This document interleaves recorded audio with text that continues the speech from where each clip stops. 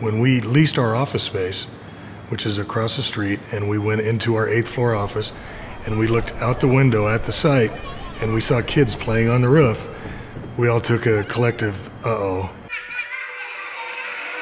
There's a preschool that is 20 feet from our project, and we have an 800 foot tall building being built 20 feet away from them. The roof of the building is the playground for these kids. Needless to say, if you have kids, it's a frightening thought. Literally, a cell phone or a, you know, it, it could be a coffee cup, it could be anything. Well, it could kill somebody. The, the wheels start turning. How are we going to do this? We have to protect these kids.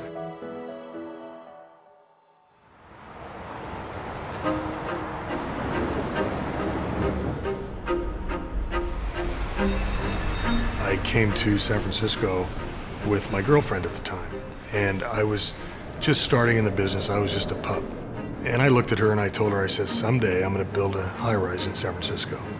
You say it, you never really necessarily believe it's going to happen. So when that opportunity came, I jumped at it. I didn't have any idea what the building was. I knew it was a high rise, but for all I knew, it was a very simple, straightforward box, and it's anything but. It's a complicated building. The, the geometry of the structure is nowhere near straightforward. I've never even heard what his thought process was. I wish I could have talked to him at the time and said, Would you just straighten it up for us? But um, because of the design, I mean, Jeffrey, it's his little baby. It's, you know, he is, um, I think, more attached to this building than anything he's ever done, as are we. So I go by and I'm taking pictures and I'm in my suit, you know, and they, every now and then one of them come over to me and they say, who are you? And I say, oh yeah, I'm the architect. And they go, oh, this is so exciting. This is the best job I've ever worked on. You know, you can go build a lot of buildings and you don't think about them a lot. This one, you'll think about, you know, till the end of your career and beyond.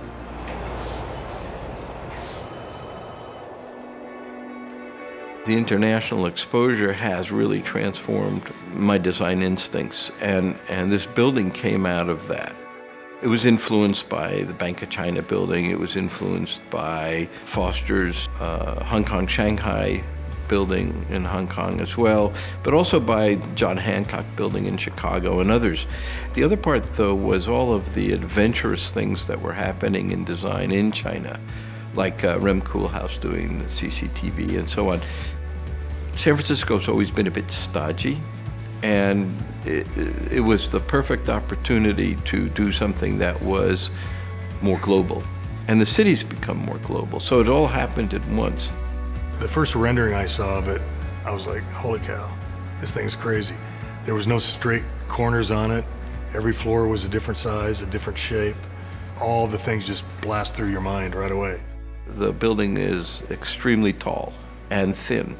And therefore, as a cantilever sticking out of the ground, it's got to be very strong because it has to resist earthquake, it has to resist wind. Highway Patrol emergency? Yes, well, I've been through a few earthquakes in the city and in the region. I was here for the Loma Prieta, which was about a 7.1. And the, the earthquake scale is geometric. So the 1906 earthquake, I believe, was about an 8.4. Okay?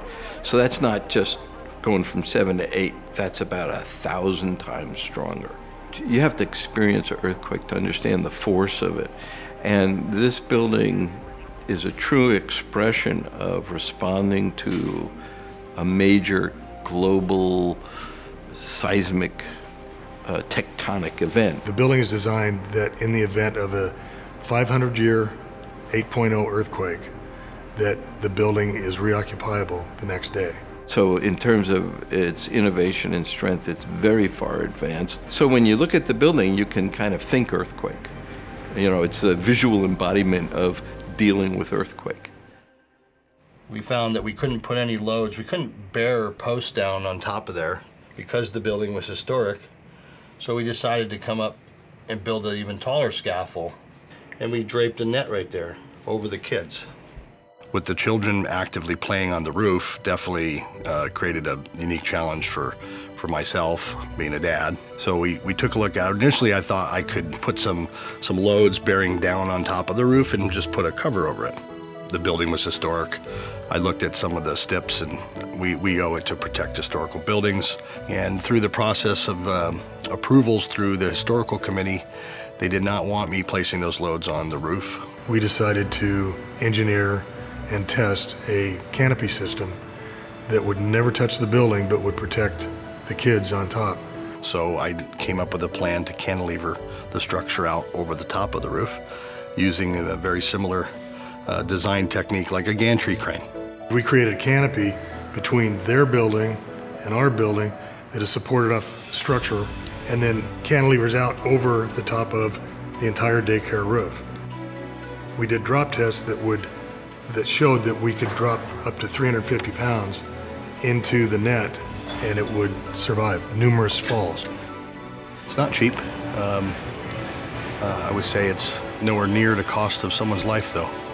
How do you put a price on a life? And, and whenever someone asks me that question, I say, if it, there was, there is no limit. That's where we come up with there is no limit to the funds. If it costs one and a half million, two million dollars, versus I know someone's not going to get hurt, you're spending the money. Take. You know what? We're having an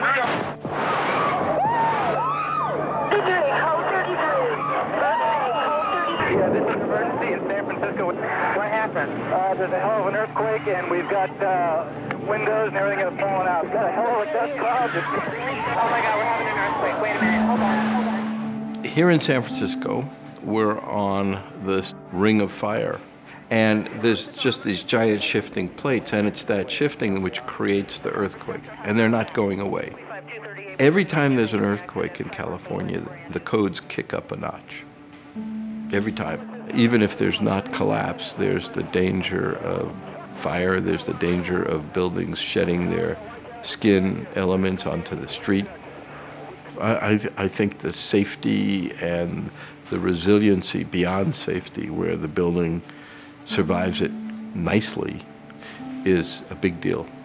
The original um, concept for the structural design of this building was such that it was a very stiff building and it didn't have resiliency.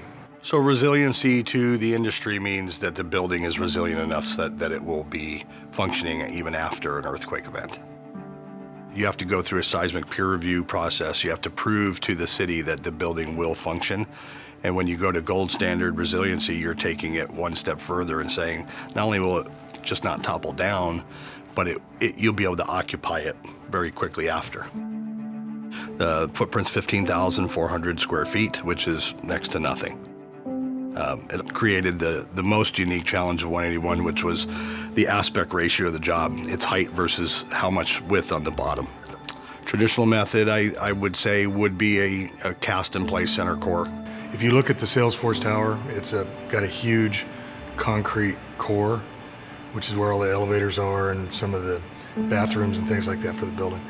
So that concrete core is what gives that building its stiffness, which is fine if you have the room to build your building stiff. So if you were to build that wall system here, you would take away literally so much property within the footprint of the building, you almost wouldn't have any leasable space. That's, that's the, the driver. The decision was made to go with a different structural engineer, different ideas, lighten the building up, get the structure smaller, and this all relates back to the seismic zone that we're in. Um, and that's what drove the exoskeleton design. And when I say exoskeleton, obviously the, the main seismic structure sits outboard of the frame itself, outboard of the slabs, where it's intended to. The exoskeletal aspect of the building uh, means we don't have to have any interior columns until you get to the elevators and the, and the, the central core. But the core is just a functioning core. It's not a so much of a structural core. And it makes the floor by floor more efficient, which is important because this floor plate is not so big. It's a tight site. What allowed us to do that were the mega braces. Arup came in with uh, their idea of the shock absorbers. So uh, that was actually a very powerful idea because it took the design to a whole nother level. So the design didn't change, it's the same design we did, but it made it lighter and more seismically resilient. And by making it lighter, it became way more efficient. So the amount of steel in the building is, is much lower. They say they could build a 29 story building with the steel they saved. Very impressive. So when you see the big pins and the BRBs, the shock absorbers, the viscous dampers that are on all the big braces, those weren't there before. Those were big stiff members that didn't move. Our particular mega brace you don't see anywhere in the city. The building basically is a big shock absorber and it can move a lot and still be occupiable. You can get back in even if it's just to get paperwork or get your personal belongings, whatever, you can go back in the building. Most of these buildings, they won't let you in. They'll close them up and until you're released to go back in, everything just sits here. You can imagine how many buildings would have to be inspected. I think for tall buildings, it's one of the safest uh, probably in the world. I knew that by doing the structure we were doing, we would be further along. But by taking it to the next level with the shock absorbers and, and, and that aspect of it, uh, it's now become iconic as a structural statement as well as hopefully as an architectural statement.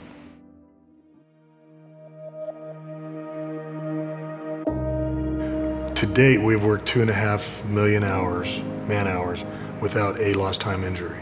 They're passionate about it. I mean, it's not a joke, it's not luck. You know, you don't work two and a half million man hours and just be lucky.